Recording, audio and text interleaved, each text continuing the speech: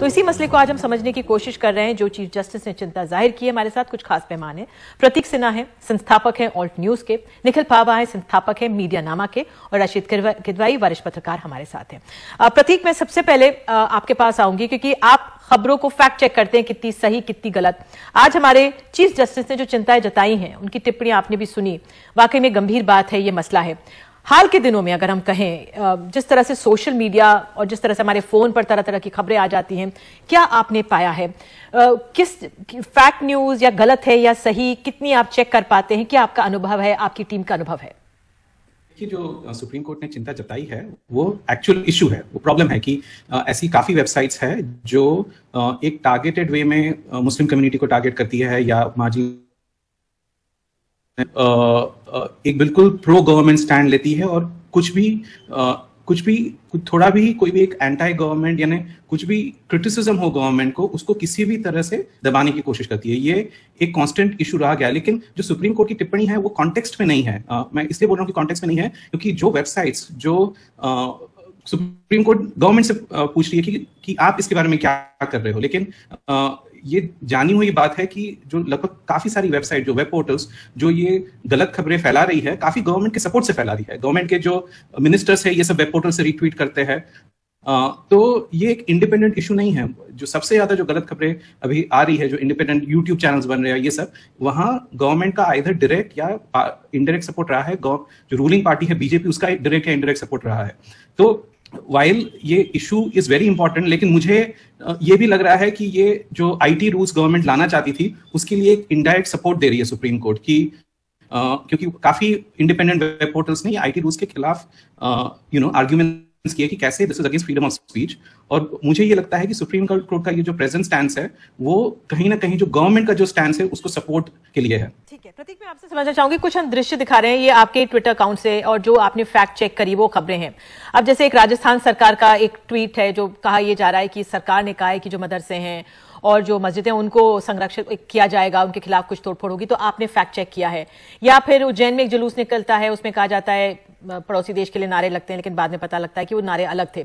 तो थोड़ा बताइए अगर मैं खबरों की बात करूँ क्योंकि हमारे जो चीफ जस्टिस उन्होंने कहा है कि आ, मीडिया का एक सेक्शन है जो सांप्रदायिक रंग हर चीज़ को देना चाहता है। तो उस लिहाज से जरा थोड़ा दर्शकों को बताइए कि क्यों ज़रूरी है क्योंकि अगर हम इस समय अगर ना भी जाएँ अगर हम बीजेपी या किसी सरकार का नाम ना भी लें लेकिन अगर हम देखें कि किस तरह से किसी पोर्टल पे खबर गलत आ रही है, एक आम उपभोक्ता जो नागरिक है, वो खबर को कैसे लेता है? क्योंकि भड़काऊ देना एक वेब पोर्टल है, वो एक भड़काऊ खबर देना चाहता है, वो ऐसी खबर देना चाहता है जिससे वो लोगों को आकर्षित करे। तो जैसे ही मैंने आपके उससे दो तीन ली है कि अब जैसे नीरज चोपड़ा के लिए कि वो मराठा वंशज है तो जरा थोड़ा बताइए कि ये बहुत ज़रूरी हो जाता है कि सही तरीके से खबर को लेना। थोड़ा बताइए कि क्या पाया आपने फैक्ट चेक में जब ये तस्वीरें आप ये डाल रहे थे तो। देखिए हम लोग तो करीबन चार साढ़े चार से फैक्ट चेक करते आ रहे हैं और डे वन से हम लोग का यही ऑब्जर्वेशन है कि जो गलत खबरें आती है वो यूजुअली कम्युनल होती है नेचर में। वो हम लोग की मेजोरिटी आई वुड से एटलीस्ट 40 टू 50 परसेंट जो हम लोग फैक्ट चेक करते हैं वो इसी रीजन से मैन्युफैक्चर होती है ताकि दो रिलीजन के बीच में भेदभाव पैदा किया जा सके और ये एक ऑर्गेनाइज मैनर में होता है क्योंकि इसमें जो लैंग्वेज यूज़ की जाती है यूजुअली जो भी लैंग्वेज होता है वो that is very provocative language तो uh, वो लोग को प्रोवोक करने के लिए वो लैंग्वेज यूज़ किया जाता है ताकि लोग इमोशनल हो और उस चीज़ को बिलीव करें, क्योंकि वो एक रैशनैलिटी खत्म हो जाती है। जब एक आप एक इमोशनल स्टेट में चले जाते हैं तो एक रैशनैलिटी खत्म खत्म हो जाती है। तो इसलिए एक डिज़ाइन के हिसाब से इसको कम्युनल नेचर दिया जाता है। और हम लोग का तो यही कहना है कि जब भी ऐसा कुछ कम्युनल जब ऐसा, ऐसी, ऐसा कोई इन्फॉर्मेशन आपके पास है, जिससे आपको बहुत ज़्यादा एक इमोशनल स्टेट लगेगी, आपको बहुत गुस्सा आ रहा है, किसी से बहुत घृणा हो रही है, आपको सब समय you have to take a step back और देखना चाहिए कि क्या इन्फॉर्मेशन है, उसको वापस वेरीफाई करना चाहिए। और ये एजुकेशन का सवाल ज़्यादा है कि कैसे आप कि, किसी किसी एक कंट्री में कैसे आप मीडिया लिटरेसी बनाएँगे? जब आप जानते हैं कि काफ़ी ऐसे न्यूज़ ऑर्गेनाइजेशन है जो ये सब डाल रहे हैं। मैं एक छोटा सा एग्ज़ाम्पल दूँगा। आप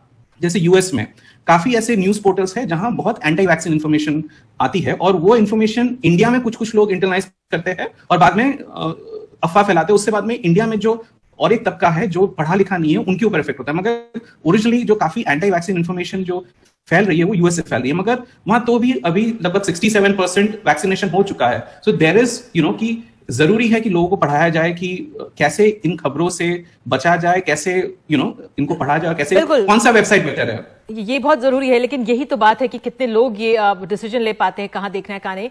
निखिल पावा आप हमारे साथ हैं संस्थापक हैं मीडिया नामा के निखिल आप बताइए आज आप चीफ जस्टिस के जो कमेंट्स हैं उनको आप कैसे देख रहे हैं? आप क्या चिंतित हैं? कि वाकई में इससे जो सांप्रदायिक सौहार्द है वो बिगड़ता है। क्योंकि एक कोई अगर ऐसा खबर आती है तो उससे सिर्फ़ सिर्फ़ एक तबका एक शहर ही नहीं प्रभावित होता। उसका असर पूरे राज्य में हो सकता है पूरे देश में होता है। जी। निधि मैं तो काफ़ी आश्चर्य आश्चर्यचकित हूँ कि सीजीआई ने ऐसी ऐसी टिप्पणी दी है।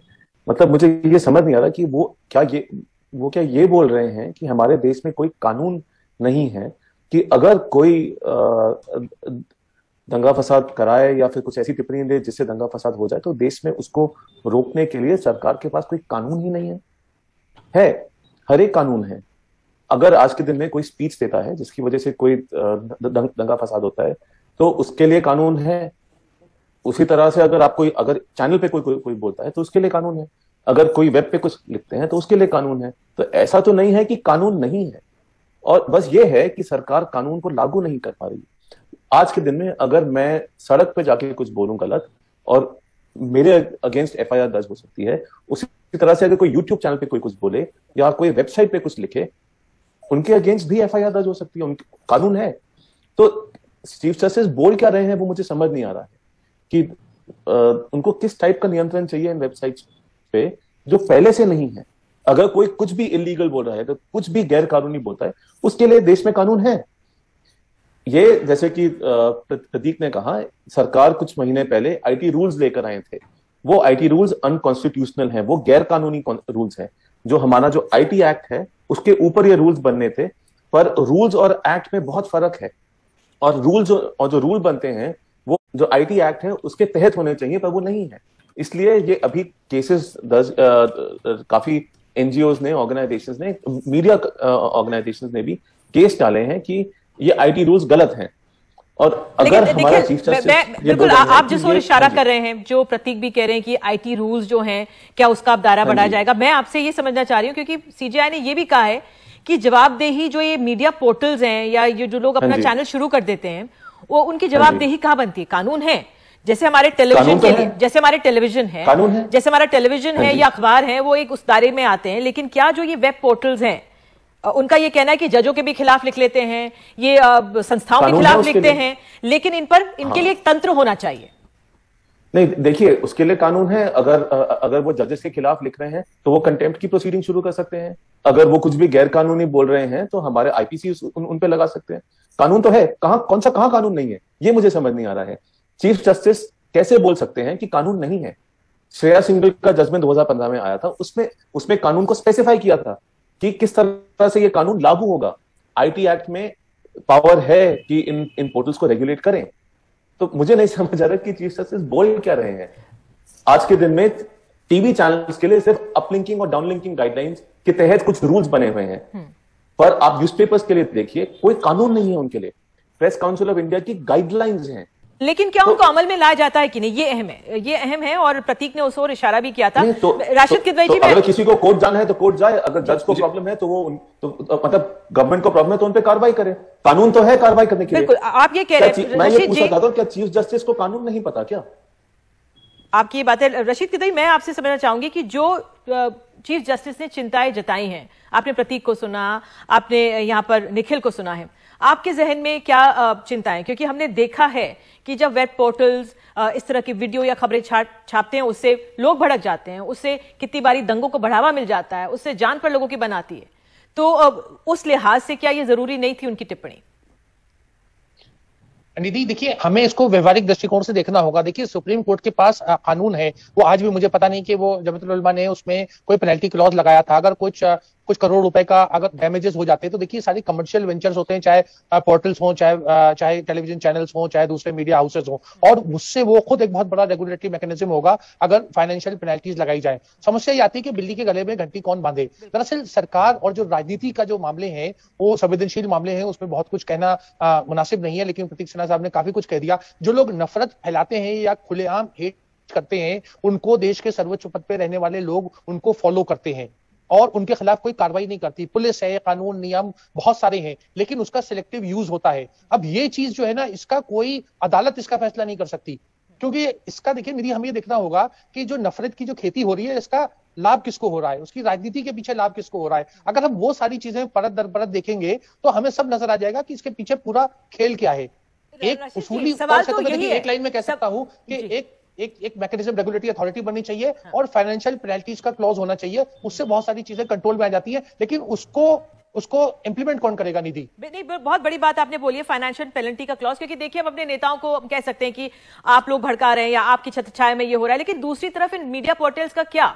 जो रोज आए दिन इस तरह की अगर भड़काऊ चीज़ें डाल देती हैं सिर्फ़ लोगों को अपनी ओर खींचने के लिए विवादास्पद चीज़ें डालती है जिससे आई बॉल ज़्यादा आए। क्या ऐसा है?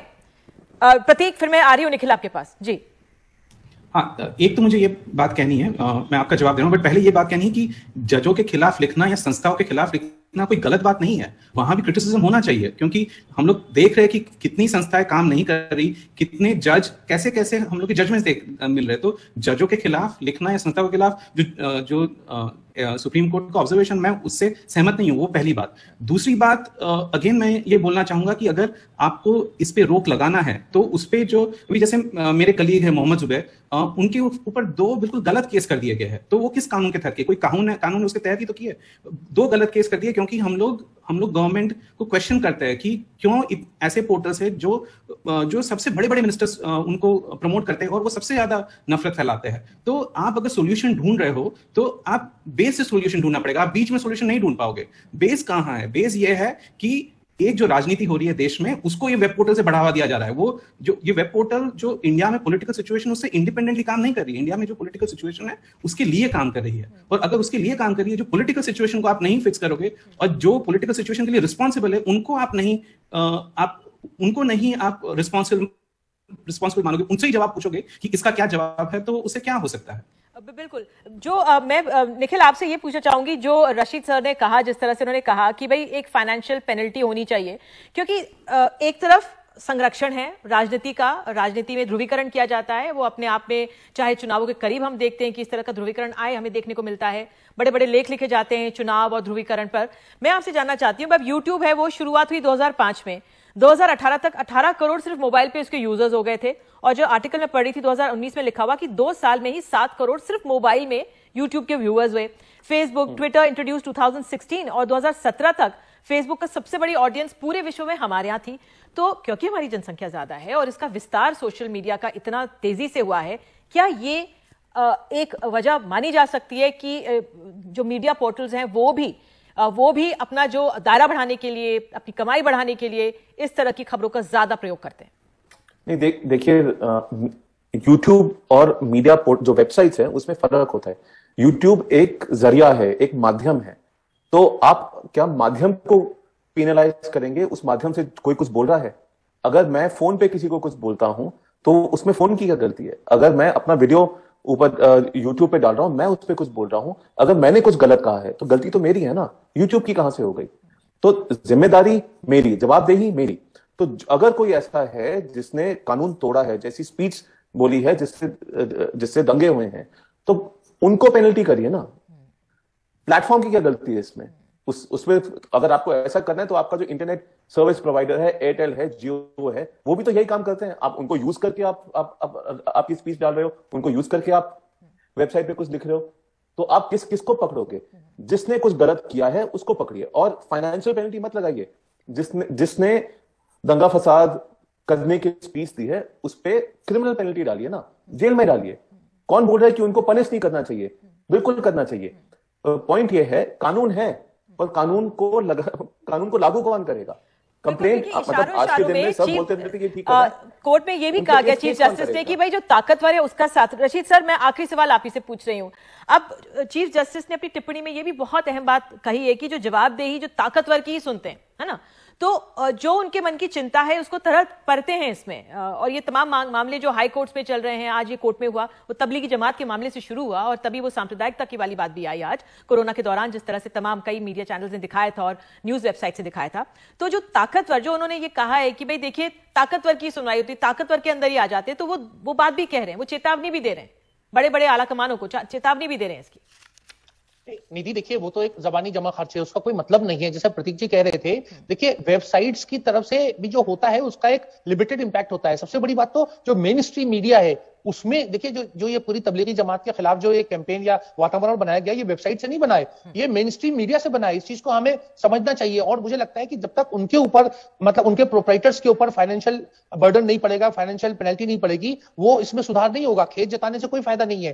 तो सबको ये एक ऐसी कोई समस्या नहीं है जिसको बारे में किसी को पता नहीं है। सब जानते हैं। लेकिन जैसा मैं कह रहा हूँ कि नफरत की खेती जो है एक पोलिटिकल एजेंडा का हिस्सा है और सूट करता है। और आप देखिएगा कि आज के जो भी हम चीफ जस्टिस को बहुत सम्मान की दृष्टि से देखते हैं और उनकी तारीफ़ करेंगे। लेकिन आ करके जैसे प्रतीक जी कह रहे थे ऐसे कानून बनाए जाएँगे कि जो लोग जो थोड़ी हिम्मत दिखा करके सरकार के खिलाफ या इस वातावरण के खिलाफ बोले जाते हैं उन्हीं के ऊपर नकेल कसी जाएगी। तो ये बहुत ही अजीब टाइप का वातावरण है ये। बिल्कुल आपकी ये बात है। प्रतीक, आप कुछ कह रहे हैं कंक्लूडिंग रिमार्क्स जी, प्रतीक। सिर्फ़ सरप्राइजिंग बात है कि जब सुप्रीम कोर्ट से बोला जा रहा है कि सिर्फ़ पावरफुल की सुनवाई होती है judiciary is one of the three pillars of the democracy judiciary का इतना इतना स्तर गिर गया है कि it has stop being a pillar judiciary is one of the strongest suppose to be one of the strongest pillars of the democracy which keeps the democracy in check तो अभी सुप्रीम कोर्ट ये कह रहा है कि वो लोग के भी पास पावर नहीं है। Mean this is one you know very surprising thing मैं एक जो निखिल जो कह रहे थे थोड़ा उनसे असमर्थ हूँ कि जो मैं मानता हूँ कि प्लेटफॉर्म एक इंटरमीडिएट मेन जो प्रॉब्लम है जो लोग कंटेंट पोस्ट करते हैं। लेकिन जो इंटरनेट और फेसबुक का जो कंपेरिजन है वो थोड़ा मुझे ठीक नहीं लगा क्योंकि इंटरनेट इंटरनेट एक एल्गोरिदम यानी आप क्या देख रहे हो वो एक एल्गोरिदम से कंट्रोल नहीं है लेकिन फेसबुक यूट्यूब एक्सेट्रा में एक एल्गोरिदम से कंट्रोल है जो ये कंपनीज़ कंट्रोल कर रही है। और और वहाँ कंसिस्टेंटली देखा गया है कि कैसे भड़काऊ चीज़ें यूएस में जैसे देख लीजिए यूएस यूएस में बहुत बार बताया गया कि कैसे जो यूएस में रिसर्च ऑर्गेनाइजेशन वो दिखा दी कैसे जो सबसे भड़काऊ चीज़ है वो फेसबुक में सबसे ऊपर आता है। तो देर इज़ अ प्रॉब्लम ऐसा नहीं है कि जवाबदेही नहीं है लेकिन प्राइमरी जवाबदेही जो कंटेंट डाल हैं? उन लोग की है। बिल्कुल आ, आप सभी जुड़े मेरे पास समय इतना ही है। बहुत बहुत धन्यवाद। वाकई में ये हमें बिल्कुल समझने की ज़रूरत है कि जब हम किसी तरह की खबर पढ़ते हैं नेता अपनी नेतागिरी अपनी उसको चमकाते हैं एक तरफ़ लेकिन अगर हम उससे भ्रमित हो रहे हैं या हम उससे भड़क रहे हैं हमें कुछ समय लेकर फिर उस पर कुछ अपने विचार व्यक्त करने चाहिए। समझने का समय अब इस समय आ गया है और सुप्रीम कोर्ट ने जिस तरह से आज कहा है चीफ जस्टिस ने जिस तरह से चिंता जताई है वो अपने आप में बहुत गंभीर संकेत दे रही है। बहरहाल फ़िलहाल अभी के लिए इतना ही। छोटा